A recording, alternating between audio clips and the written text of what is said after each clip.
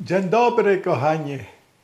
So wonderful to be Wspaniale, że mogę się z Wami kontaktować. uh, Dziękuję za zaproszenie, że daliście mi taką możliwość, abym mógł spędzić z Wami trochę czasu. Uh, Ponieważ tego poselstwa będziecie uh, słuchać w sobotni poranek, dlatego życzę Wam szczęśliwego sabatu. And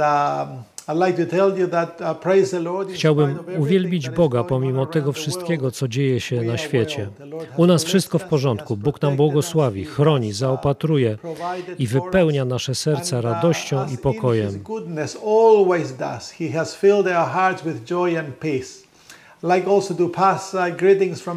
Przysyłam również pozdrowienia uh, od last Zygiego. Rozmawiałem z nim w zeszłym tygodniu i on również ma się dobrze, uh, jest bardzo zajęty.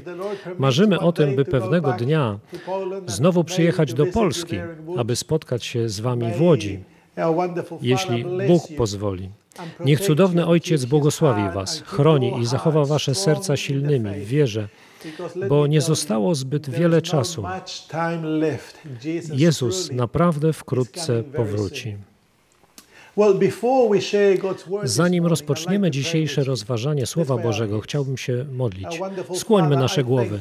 Cudowny Ojcze, dziękuję Ci za możliwość dzielenia się Twoim Słowem z moimi braćmi i siostrami, których tak bardzo kocham. Modlę się o to, żebyś przemawiał do naszych serc, gdy będziemy rozważać Twoje Słowo, żebyś nas obudził, poruszył nasze dusze i prowadził nas do głębszego poświęcenia się i do większej miłości do Ciebie. Modlimy się w imieniu Jezusa. Amen. Chciałbym, abyście otworzyli razem ze mną książkę Przypowieści, 13 rozdział and 13 verse i wiersz 7. Proverbs chapter uh, 13 and verse 7. Solomon wrote, "There Salomon mówi, znajduje się taki, który czyni siebie bogatym, a nie ma nic. Inny czyni siebie ubogim, choć ma wiele bogactw. Ten werset ma dosłownie zastosowanie do niektórych ludzi, którzy są bogaci, ale udają biednych, oraz do innych, którzy są biedni, ale chwalą się, jakby byli bogatymi. Uh, Jednak w rzeczywistości ten tekst ma głębokie, duchowe zastosowanie. I o tym właśnie będziemy dzisiaj rozmawiać. Chciałbym, abyście otworzyli ze mną list 2 Jakuba, rozdział drugi i wiersz piąty. James chapter 2 and verse 5. The book of James chapter 2 List Jakuba, rozdział drugi i wiersz piąty. Apostoł mówi, posłuchajcie moi umiłowani bracia, czyż Bóg nie wybrał ubogich tego świata, aby byli bogatymi w wierze i dziedzicami królestwa, które obiecał tym, którzy go miłują? A zatem Księga Przypowieści mówi nam, że są ludzie, którzy czynią się bogatymi, a nic nie mają. has nothing. And that is the reality A prawda jest taka, że Biblia wskazuje nam Kościół laodycejski. Um, Gdy zajrzycie ze mną do trzeciego rozdziału Księgi Objawienia, chapter 3. As we go through these verses, I Chciałbym, abyście czytając ze mną te teksty pamiętali o tych dwóch wcześniejszych, które 2, już verse 5 and przeczytaliśmy z Księgi 13, Przypowieści verse 7. i z listu Jakuba, ponieważ te teksty uh, provide nie tylko objawiają nasz duchowy revelation of stan, our spiritual condition, ale również rozwiązanie tego problemu. 3 Księga Objawienia, rozdział trzeci 17. i wiersz This is 17. what Laodicea says of To są słowa Laodycei, którymi określa ona samą siebie. Mówi tak, mówisz bowiem, jestem bogaty i wzbogaciłem się i niczego nie potrzebuję. A nie wiesz, żeś jest nędzny i pożałowania godny, biedny, ślepy i nagi. Chciałbym więc, abyście zwrócili uwagę na to, że tekst z objawienia jest echem uh, zapatrywania z Księgi Przypowieści. 13, verse 7. Laodicea Laodycea czyni siebie bogatą. Ona myśli, że jest bogata, że się wzbogaciła i że niczego nie potrzebuje. a jednak nie posiada niczego.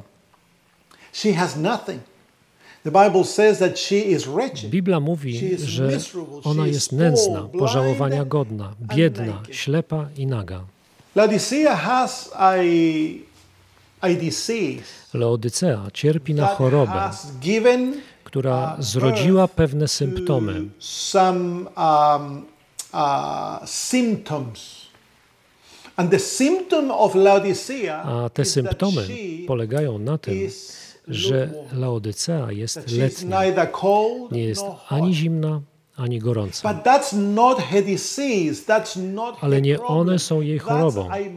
I nie one są problemem. One są manifestacją wewnętrznego problemu. Problem bycia letnim, czyli ani zimnym, ani gorącym, polega na tym, że ktoś żyje dla samego siebie, twierdząc, że żyje dla Chrystusa. To tak jak z ustami, o czym powiedział Pan Jezus.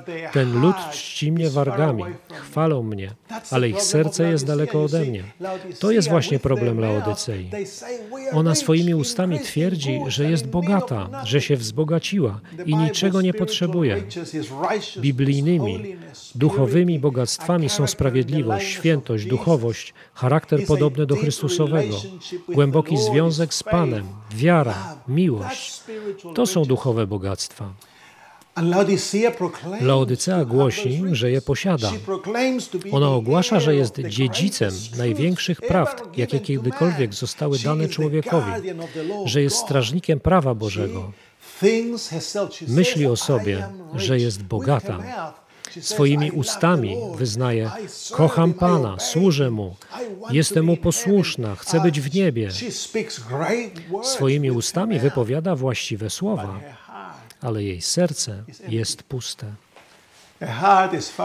Jej serce jest dalekie od Boga. A zatem chorobą Laodycei problem. starożytny problem. Nazywa się ona własna sprawiedliwość. to Laodycea twierdzi, że ma coś, czego nie ma, a nie ma, bo nie może tego mieć. Dlaczego? Ponieważ jedyna osoba, która może jej dać to, czego ona potrzebuje, znajduje się poza jej doświadczeniem. Ta osoba stoi u drzwi jej serca, pukając. Oto stoję u drzwi i kołaczę, mówi Jezus. A zatem Laodycea, którą, jak mówi Ellen White, jest przede wszystkim Kościół Adwentystów, czyli ty i ja. Ma samo oszukujące się postrzeganie. Ona myśli o sobie w taki sposób, a Bóg widzi ją w inny sposób. Bóg widzi, że jesteśmy nędzni, pożałowania godni, biedni, ślepi i nadzy.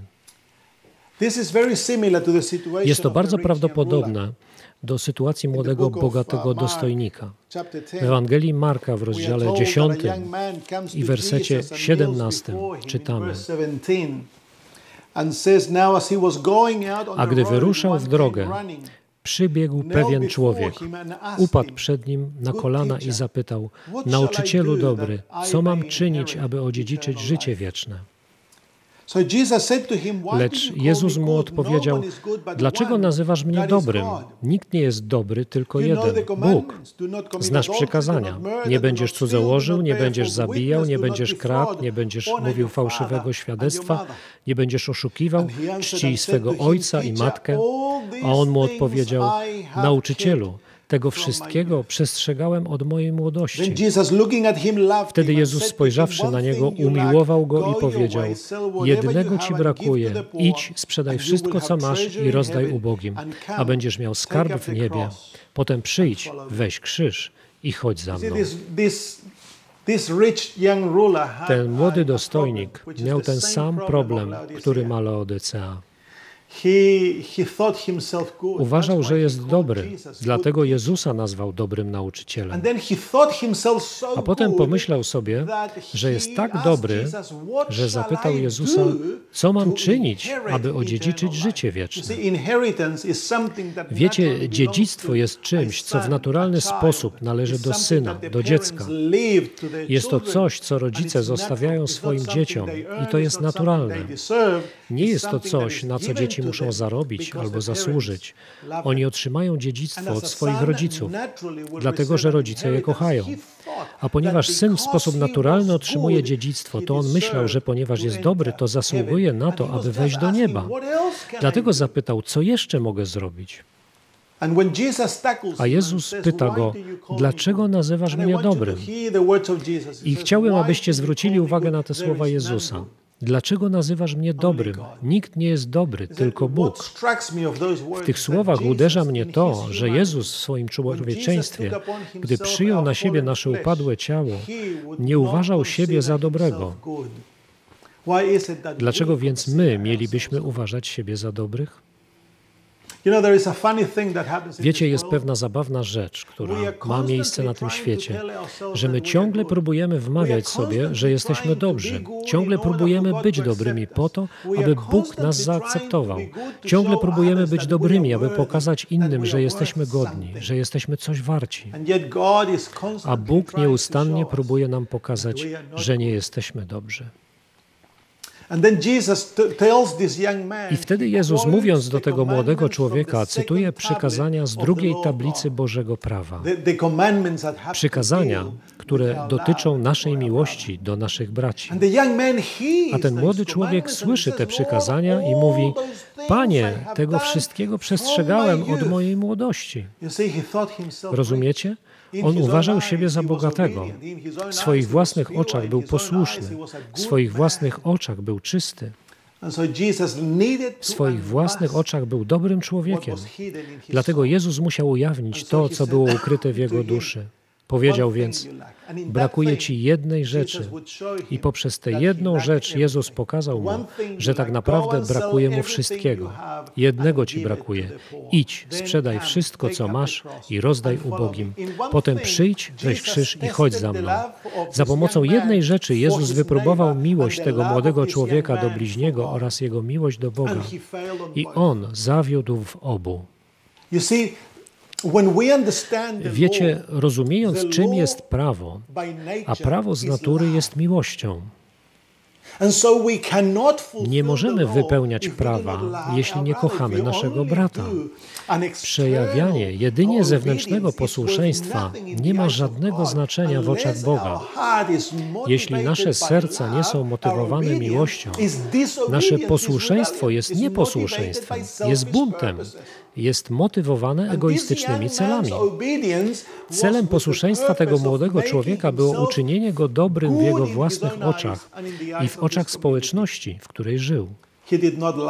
On nie miłował swoich bliźnich. Gdyby naprawdę przestrzegał przykazań, poszedłby i sprzedałby wszystko, co miał i rozdałby to ubogim. Ale on pokazał, że nie kochał Boga, ale że siebie samego kochał bardziej niż Boga, ponieważ nie był chętny, aby wziąć krzyż i iść za Jezusem. A więc on łamał. Boże prawo, a jednak uważał, że jest bogaty, że się wzbogacił i że niczego nie potrzebuje. I wtedy Jezus wypowiedział 22. takie słowa w wersecie 23. Then 23. Jesus looked around A Jezus spojrzawszy wokoło, "How powiedział do swoich uczniów, jakże trudno tym, którzy mają bogactwa, wejść do Królestwa of God." Bożego. Jezus mówi, że trudno jest bogatym wejść do. Królestwa Bożego. I nie chodzi mu jedynie o bogactwa materialne, ale Jezus mówi o bogactwie duchowym. O tych, którzy myślą, że są bogaci, że się wzbogacili i niczego nie potrzebują, jak. Laodycea, jak my. We go back to the to the. Wracamy więc teraz do Księgi. Objawienia, rozdział trzeci, drodzy przyjaciele, moi umiłowani. Uh, I czytamy tu, we read, "Because you say, I Ponieważ mówisz, Jestem bogaty i wzbogaciłem się i niczego nie potrzebuję. Najbardziej niebezpiecznym miejscem, w jakim może znaleźć się chrześcijanin, jest miejsce samozadowolenia. Kiedy myślimy, że wszystko jest z nami w porządku, że niczego nie potrzebujemy, jest to najniebezpieczniejsze miejsce, w jakim można się znaleźć, bo kiedy wydaje nam się, że wszystko jest z nami w porządku, wówczas nie potrzebujemy Jezusa. I dlatego Laodycea umieszcza Jezusa za drzwiami, bo nie potrzebuje Jezusa. Jest bogata, wzbogaciła się i niczego nie potrzebuje. To niczego obejmuje też nikogo, włącznie z Jezusem. Dlatego młodzieniec odszedł zasmucony, bo nie potrzebował Zbawiciela. Gdyby ten młodzieniec miał głębokie poczucie grzeszności, to Jezus byłby dla niego największym skarbem, drogocenną perłą. Ale ten młodzieniec nie widział piękna w Jezusie. Dlaczego? Bo we własnych oczach był sprawiedliwy, w oczach był dobry, we własnych oczach nie potrzebował niczego. Pan pragnie, abyśmy zrozumieli naszą prawdziwą sytuację. Dlatego w Księdze Objawienia Pan nie tylko objawia nam nasze zwodnicze pojęcie o tym, kim jesteśmy, Objawia nam, kim nie jesteśmy. Objawia nam, że nie jesteśmy bogaci. Jesteśmy zwiedzeni w tym pojęciu, w tym naszym zrozumieniu samych siebie. I wtedy pokazuje nam nasz prawdziwy stan. Przemawia do nas pięcioma określeniami. W drugiej połowie wiersza 17 Jezus mówi, a nie wiesz, że Ty jesteś nędzny i godny litości, i biedny, i ślepy, i nagi. Wow.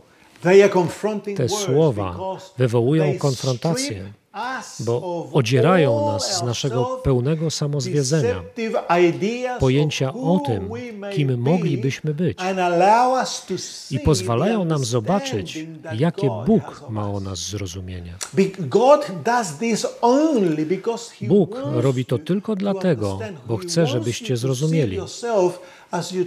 Chcę, żebyście zobaczyli siebie takimi, jakimi naprawdę jesteście.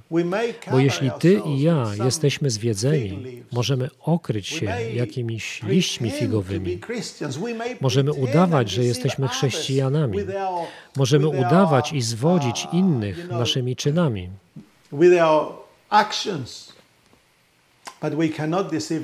Ale nie możemy oszukać Boga. Możecie oszukać nawet samych siebie, ale nie możemy oszukać Boga. Pomiędzy religią Chrystusa a religią własnego ja jest tak wielka przepaść, jak przepaść, która oddziela niebo od piekła. No Nie ma jedności między tymi dwoma doświadczeniami. Jezus chce więc, żebyśmy zaakceptowali nasz prawdziwy stan. Co to znaczy być nędznym? Te pierwsze słowa. A nie wiesz, że ty jesteś nędzny.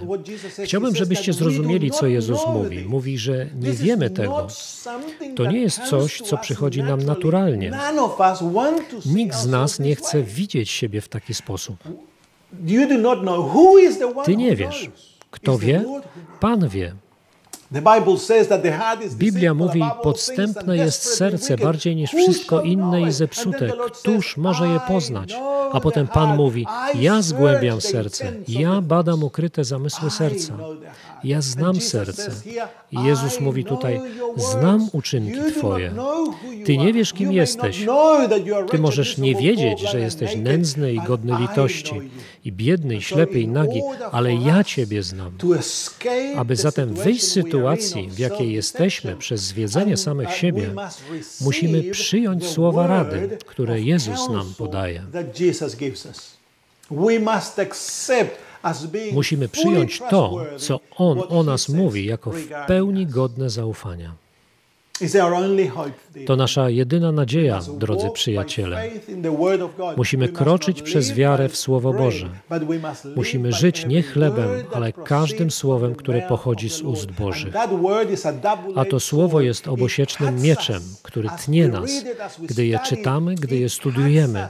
Ono tnie, ono otwiera nasze intencje, nasze myśli, odsłania je przed Bogiem. I wtedy jesteśmy w stanie zobaczyć samych siebie przez to słowo. To nasza jedyna nadzieja. Musimy więc ukorzyć się, bo Pan zbliża się do pokornych, a nie do pysznych. W tym pierwszym określeniu Jezus mówi: Jesteś nędzny. Co to znaczy być nędznym? To słowo jest powtórzone jeszcze tylko raz w Nowym Testamencie, w liście do Rzymian, w rozdziale 7, wiersz 24. W liście do Rzymian, rozdział 7, wers 24, apostoł Paweł napisał: Nędzny ja człowiek, któż mnie wybawi z tego ciała śmierci? Tutaj znajdujemy to samo słowo. Tylko tutaj w Nowym Testamencie powtórzone jest to samo słowo. Słowo nędzny. Paweł mówi: Nędzny ja człowiek. Czym jest to bycie nędznym? Paweł wyraża tę nędzę jako rzeczywistość, że gdy stara się przestrzegać prawa Bożego o swej własnej sile, swoją własną siłą woli, swoimi własnymi decyzjami i stara się być dobry, stara się być posłuszny, usiłuje zrobić to, co postanowił, czynić dobrze, pełnić wolę Bożą, to nie jest w stanie tego zrobić which is the will of God. Zawsze kończy się tym, że nie jest w stanie robić tego, co jest wolą Bożą. I zawsze kończy robiąc coś przeciwnego. To, co jest grzeszne, to, co jest złe. I potem mówi: Robię to, bo jestem nędzny. To bardzo ciekawe, bo w wierszu 17 Paweł mówi nam, ale wtedy czynię to już nie ja, lecz grzech, który mieszka we mnie. Mówi więc, że my, ludzie z natury, jesteśmy niewolnikami grzechu. Wiersz 18. Wiem tedy, że nie mieszka we mnie, to jest w ciele moim dobro Mam bowiem zawsze dobrą wolę, ale wykonania tego, co dobre, brak.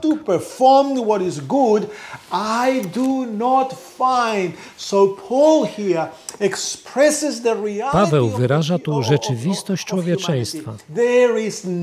Nie ma nic dobrego w naturalnym ja. Nic. Podkreślcie to słowo. Nic. Nic, przyjaciele.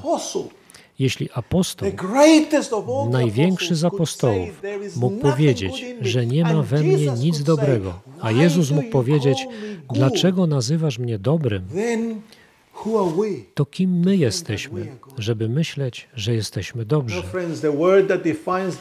Zatem, przyjaciele, te słowa, które opisują doświadczenie starań, by być dobrym, by być posłusznym i zawsze zawodzenie, to określenie nędzny. Niezdolność do wykonania czegokolwiek dobrego na własne konto lub tak zwana ludzka dobroć jest splamiona przez dumę, samolubstwo i pragnienie uznania. Nie ma w człowieku prawdziwego dobra, nie ma czystej, absolutnej dobroci. To było określenie nędzne, a teraz dalsze słowo, które występuje w rozdziale trzecim i wierszu siedemnastym. A nie wiesz, że Ty jesteś nędzny i godny litości. Godny litości. Słowo godny litości pojawia się jeszcze tylko raz w Nowym Testamencie. Znajduje się w pierwszym liście do Koryntian, rozdział 15. W pierwszym liście do Koryntian w rozdziale 15 apostoł Paweł mówi o tych, którzy mogliby nie wierzyć, że Jezus zmartwychwstał. Mówi tak. Czytamy od wiersza 14. A jeśli Chrystus nie został wzbudzony, wtedy i kazanie nasze daremne. Daremna też wasza wiara. Wówczas też byliśmy fałszywymi świadkami Bożymi, bo świadczyliśmy o Bogu, że Chrystusa wzbudził, którego nie wzbudził skoro umarli nie bywają wzbudzeni. Jeśli bowiem umarli nie bywają wzbudzeni, to i Chrystus nie został wzbudzony. A jeśli Chrystus nie został wzbudzony, daremna jest wiara wasza. Jesteście jeszcze w swoich grzechach. Zatem i ci, którzy zasnęli w Chrystusie, poginęli. Jeśli tylko w tym życiu pokładamy nadzieję w Chrystusie, jesteśmy ze wszystkich ludzi najbardziej pożałowania godni. To określenie pożałowania godni jest tłumaczeniem tego samego słowa, które w Księdze Objawienia, trzecim rozdziale, 17 wersecie oddano jako godny litości. Co miał tutaj na myśli? Paweł używa tego słowa w kontekście posiadania wiary, która jest daremna. Używa go w kontekście wiary w Chrystusa, który nie zmartwychwstał bylibyśmy kompletnie, beznadziejnie zwiedzeni i nie mielibyśmy zbawienia. Mówi, że bylibyśmy ze wszystkich ludzi najbardziej pożałowania godni. Mamy więc tutaj to słowo zastosowane do sytuacji człowieka. Dlaczego? Ponieważ jeśli ty i ja ufamy sobie samym, kiedy myślimy, że jesteśmy bogaci, wzbogaciliśmy się i niczego nie potrzebujemy, to jesteśmy pożałowania godni, bo taka wiara jest daremna. Nasze chrześcijańskie doświadczenie jest nic nie warte, jeśli pokładasz zaufanie w sobie samym. Widzicie, drodzy przyjaciele, Jezus pozwala nam zobaczyć, kim naprawdę jesteśmy. No Nie mamy żadnej siły, jeśli chodzi o dobroć, żadnej siły, jeśli chodzi o posłuszeństwo. Jesteśmy całkowicie pozbawieni jakiejkolwiek dobroci i niezdolni do jakiejkolwiek sprawiedliwości. Nie możemy zbawić siebie samych. Nie możesz zaoferować Bogu czegokolwiek, żeby Cię przyjął. I wtedy pojawia się trzecie określenie. Biedny, nędzny i godny litości, i biedny. Co to znaczy być biednym? Biedna osoba to ktoś, kto nie ma tego, co jest konieczne, aby zaspokoić jego potrzeby. Biedna osoba jest biedna, ponieważ brakuje jej podstawowych potrzeb. I to jest dokładnie to, co Pan chce, żebyśmy sobie uświadomili, że jesteśmy biedni. Kiedy ludzkość zgrzeszyła, to została całkowicie ogołocona i pozbawiona tego wszystkiego, co dobrze o nas świadczy przed Bogiem. W liście do Rzymian w rozdziale trzecim apostoł Paweł używa dwóch słów, aby to sprecyzować. W liście do Rzymian w rozdziale trzecim od wiersza dziesiątego mówi Nie ma ani jednego sprawiedliwego, nie masz, kto by rozumiał, nie masz, kto by szukał Boga, nie masz, kto by czynił dobrze.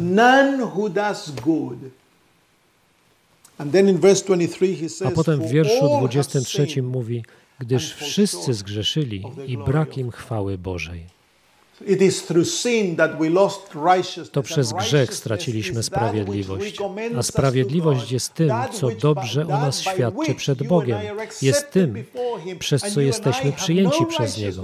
A Ty i ja nie mamy sprawiedliwości. Nie mamy nic, co moglibyśmy zaoferować Bogu. Jesteśmy bankrutami. Dosłownie bankrutami.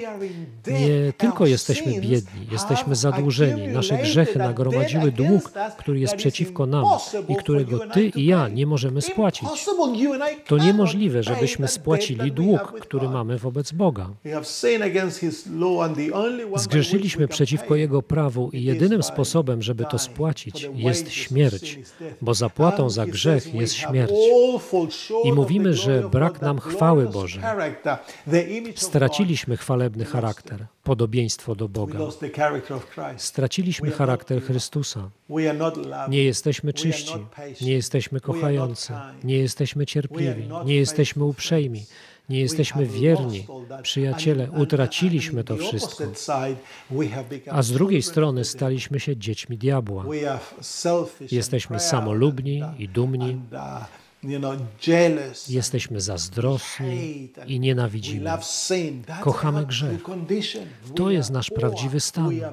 Jesteśmy biedni, jesteśmy bankrutami. then, and then in Revelation chapter 3, I dalej w Księdze Objawienia w rozdziale trzecim Jezus przez apostoła Jana mówi nam, że nie tylko jesteśmy biedni, ale potem mówi, że jesteśmy ślepi. W wierszu 17 he says 17 mówi, jesteś nędzny i godny litości, i biedny, i ślepy. Ślepota w Piśmie Świętym. Oczy to zdolność rozróżniania, mądrość, do, zdolność widzenia. Chodzi oczywiście o sprawy duchowe. You and I do not have Ty i ja nie mamy zdolności, aby widzieć siebie takimi, jakimi naprawdę jesteśmy. Dlatego potrzebujemy, żeby Pan nam doradzał. Dlatego potrzebujemy słyszeć, co Pan do nas mówi. Pan nie stara się zniszczyć Cię. Pan nie stara się zawstydzić Cię. Pan stara się pomóc Ci zrozumieć Twój prawdziwy stan, abyś, gdy Go zobaczysz, zwrócił się do Niego. A gdy zwrócisz się do Niego, to wtedy otrzymasz zbawienie. A ostatnim słowem, które opisuje nasz stan, jest słowo nagi. Jesteśmy biedni, ślepi i nadzy. Bycie nagim to stan bycia zgubionym. Brakuje nam tego, co nas okrywa.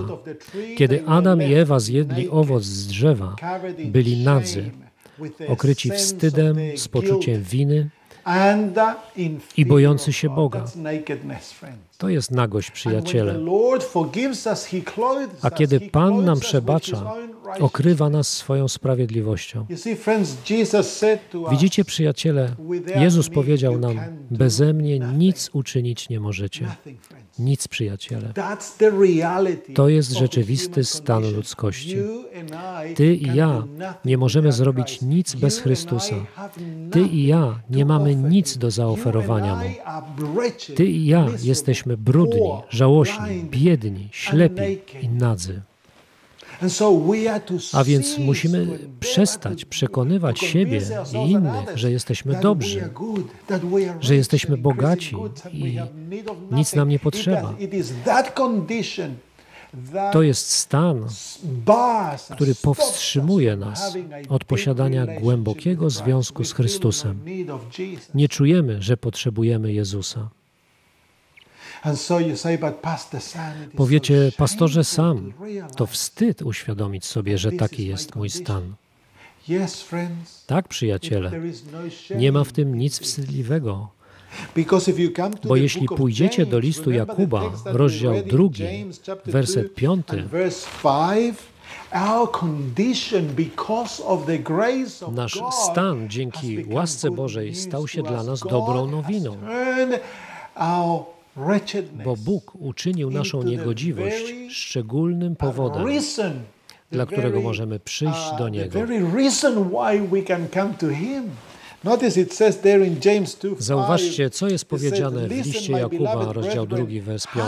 Posłuchajcie, bracia moi umiłowani, czyż to nie Bóg wybrał ubogich w oczach świata, aby byli bogatymi? Widzicie, przyjaciele, abyśmy posiedli bogactwo Boże, musimy najpierw zaakceptować nasze ubóstwo. A dobrą nowiną Ewangelii jest, że Bóg wybrał ubogich. Niech będzie błogosławione imię Boże. To dlatego, gdy celnik przychodzi do Pana, mówi: Boże, bądź miłościw mnie grzesznemu. Nie miał nic do zaoferowania Bogu, a Bóg przyjął go w jednej chwili. Jezus powiedział, że odszedł do domu usprawiedliwiony. A kiedy Łotr na krzyżu wołał do Jezusa: Panie, pamiętaj o mnie, gdy wejdziesz do królestwa swego. W tym dokładnie momencie Pan go zbawił. Dlaczego? Bo nie miał nic, a ten, co nie ma nic, może być napełniony Bożą dobrocią. Tam, gdzie się grzech rozmnożył, tam łaska jeszcze bardziej obfitowała. Bóg nie przyszedł, aby szukać i ratować tego, co nie zginęło.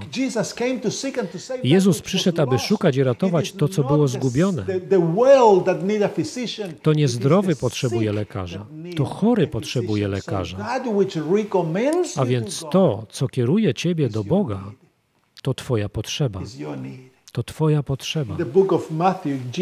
W Ewangelii Mateusza Jezus pokazuje nam, co to znaczy być błogosławionym w Królestwie Bożym.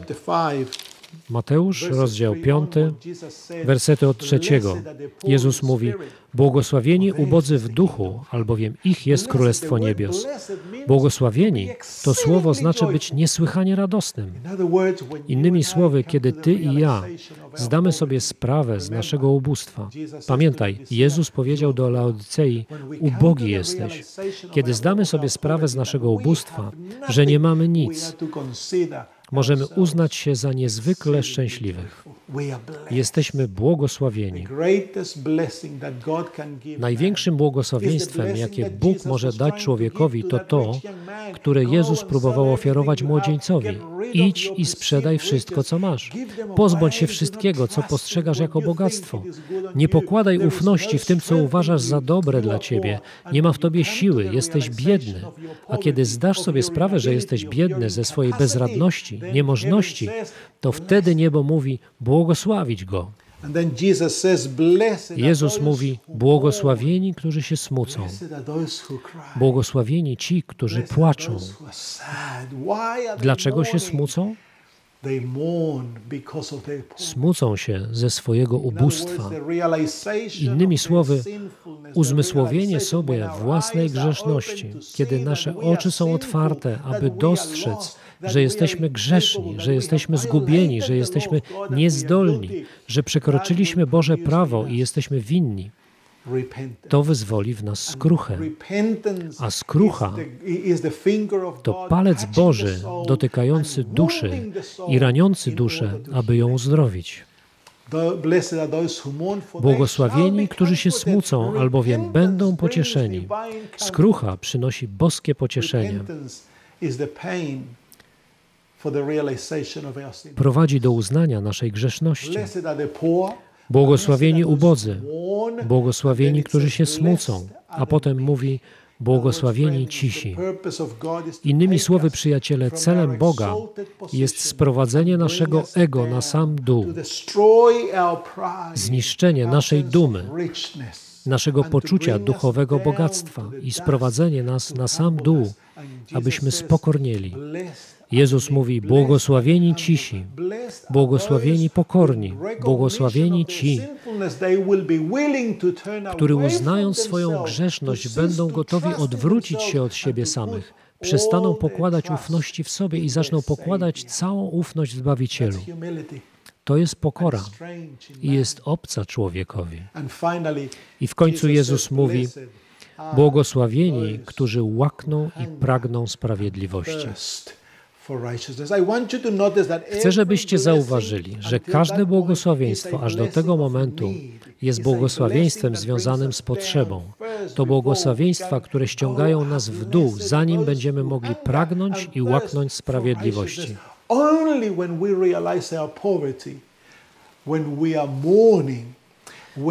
Stanie się to tylko wtedy, kiedy zdamy sobie sprawę z naszego ubóstwa, kiedy smucimy się, kiedy jesteśmy pokorni. Tylko wtedy będziemy łaknąć i pragnąć sprawiedliwości, której nie mamy. Sprawiedliwość, która przychodzi z zewnątrz, sprawiedliwość, której nie posiadamy w naturalny sposób, sprawiedliwość, która pochodzi od Boga, sprawiedliwość Jezusa. Tylko wtedy Jezus stanie się dla nas drogocenną perłą, wielkim skarbem. Do tego momentu, kiedy uważamy się za dobrych, bogatych, niczego nie potrzebujących, Jezus to tylko słowo. Nie jest tak piękny, tak atrakcyjny. Nie kochamy Go, nie tęsknimy za Nim, nie chwytamy się Go. Ale kiedy dotrze do nas fakt, kim naprawdę jesteśmy, biedni, nędzni, nadzy, ślepi, tylko wtedy Chrystus stanie się dla nas wszystkim. Ale możesz powiedzieć, pastorze sam, co mogę zrobić, kiedy nic nie mam? Co mogę zrobić? Gdzie się mogę udać? Drogi przyjacielu, Ewangelia to dobra nowina. Chociaż nie mamy nic, spójrzcie do drugiego listu do Koryntian. Rozdział 8, wers 9, apostoł mówi te piękne słowa. Apostoł pisze, Albowiem znacie łaskę Pana naszego Jezusa Chrystusa, że będąc bogatym, stał się dla was ubogim. Tak, On stał się grzechem dla nas. Przyjął na siebie nasze ja, Powiedział, nie ma nikogo dobrego i udał się na krzyż, gdzie grzechy całego świata zostały na nim złożone i stał się za nas grzechem. Tak, stał się biedny. W jakim celu? Abyś Ty przez Jego ubóstwo mógł stać się bogaty.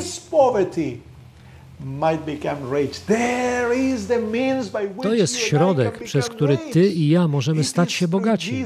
To przez Jezusa Chrystusa. On jest naszym bogactwem. No Nie masz żadnego bogactwa, ale Chrystus jest naszym skarbem.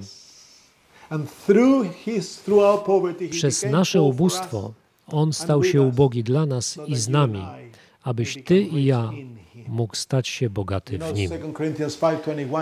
2 Koryntian 5:21 mówi: On tego, który nie znał grzechu, za nas grzechem uczynił, abyśmy w nim stali się sprawiedliwością Bożą. Tak, Chrystus jest naszym bogactwem. To dlatego w Księdze Objawienia, rozdziale trzecim, Jezus wzywa nas, aby przyjść do Niego. Jesteśmy nędzni, żałośni, biedni, jesteśmy ślepi, nadzy, nie mamy nic. I zadajemy sobie pytanie, więc co mogę zrobić? I w wersie 18 trzeciego rozdziału Jezus mówi, radzę Ci, abyś nabył u mnie Radzę Ci, abyś kupił ode mnie. Aby nabyć od Niego, musimy odwrócić się od siebie i udać się do Niego, bo On jest źródłem tego, czego potrzebujemy. Nabył u mnie złota w ogniu wyprobowanego, abyś się wzbogacił. Jezus chce ofiarować nam złoto oczyszczone w ogniu, aby nas uczynić bogatymi. A potem mówi o białej szacie, w którą możesz być ubrany, aby przykryć Twoją nagość i maść na oczy, żebyś przejrzał. Innymi słowy, przyjaciele, Ty i ja nie mamy nic, ale musimy przyjść do Jezusa. A On mówi, radzę Ci, abyś kupił u mnie. Jak mogę kupić? Cóż, to proste. Sposób, w którym możesz nabyć. Jak mogę to kupić? Czyż Ewangelia nie jest za darmo? Tak, ale Ewangelia wymaga od nas wszystkiego. Musisz poddać swoje bogactwo, musisz porzucić poczucie własnej sprawiedliwości, że jesteś dobry sam z siebie, silny. Musisz to wszystko porzucić dla Chrystusa i złożyć to u stóp Jezusa. I teraz musisz uchwycić się Jezusa i otrzymać od Niego wszystko, czego potrzebujesz. Czyż to nie jest wspaniałe? W liście do Kolosan apostoł napisał te piękne słowa o naszym Zbawicielu. List do Kolosan, rozdział 3, wers 11. W odnowieniu tym apostoł mówi o Ewangelii. W odnowieniu tym nie ma Greka ani Żyda, obrzezania ani nieobrzezania, cudzoziemca, scyty, niewolnika, wolnego, lecz Chrystus jest wszystkim i we wszystkich. Chcę, żebyście zwrócili uwagę na to stwierdzenie. Chrystus jest wszystkim i we wszystkich. Czym jest Chrystus? Chrystus jest wszystkim. Ja nie mam nic, ale Chrystus jest dla mnie wszystkim. Czyli jeżeli mam Chrystusa, mam wszystko. Ale jeżeli nie mam Chrystusa, nie mam niczego.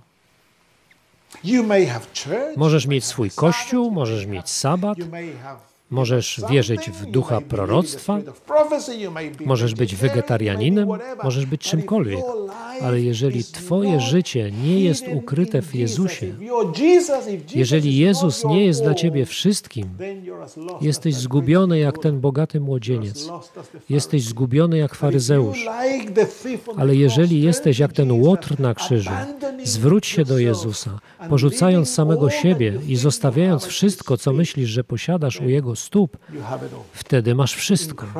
W Chrystusie jest wszystko.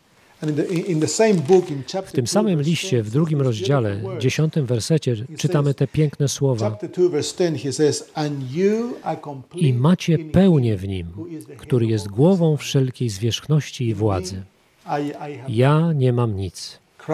Chrystus jest wszystkim dla Ciebie. W Nim jesteś pełnią. Niczego Ci nie brakuje. Dlatego can Paweł mógł powiedzieć: Wszystko mogę w tym, który mnie wzmacnia w Chrystusie. Nic nie możesz uczynić beze mnie. Wszystko mogę. Dlaczego? Bo w. Chrystusie mam wszystko. On jest dla mnie wszystkim. On jest moją sprawiedliwością. On jest moją ufnością. On jest moją miłością. On jest moim uświęceniem. On jest moim odkupieniem. On jest moim życiem, moją miłością. On jest wszystkim. Bóg uczynił to wszystko, co Ty i ja możemy kiedykolwiek potrzebować możliwym do odnalezienia w Chrystusie, gdzie Jezus jest nazywany ukrytym skarbem i perłą wielkiej wartości. I dlatego, przyjaciele, człowiek, który przekopywał pole i znalazł ukryty skarb, Biblia mówi, że kupiec zobaczył tą bezcenną perłę, poszedł i sprzedał wszystko, co miał, by ją nabyć, aby mieć Chrystusa, aby mieć tą perłę. I to jest dokładnie to, drodzy przyjaciele, co jest wymagane od nas. Biblia mówi, że Tobie i mnie wydaje się, że jesteśmy bogaci. A Jezus mówi, chodź i nabądź ode mnie. Więc co musimy zrobić? Musimy wziąć te wszystkie rzeczy, w które myślimy, że jesteśmy bogaci i musimy zostawić je u stóp Jezusa. Musimy zaprzeć się siebie, musimy przestać pokładać ufności w sobie, musimy uchwycić się Chrystusa i On musi stać się wszystkim dla nas. Wszystkim. Modlę się, żeby Pan dotarł do Twojego serca. Obudził Cię, drogi przyjacielu. Żyjemy w ostatnich momentach historii ludzkości i jest absolutnie niezbędne, jest wymogiem, że jeżeli mamy wejść przez perłową bramę nieba, Chrystus musi być wszystkim dla nas. Ja musi umrzeć, musi być ukrzyżowane, a Chrystus musi żyć. Niech zbór w Łodzi będzie znany jako Kościół skoncentrowany na Chrystusie, który kocha Chrystusa, a Chrystus stanie się wszystkim dla Was. Drodzy bracia i siostry, kocham Was. Niech Pan Was błogosławi.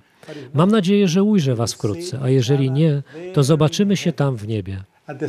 Spotkamy się przy drzewie żywota i będziemy na zawsze razem.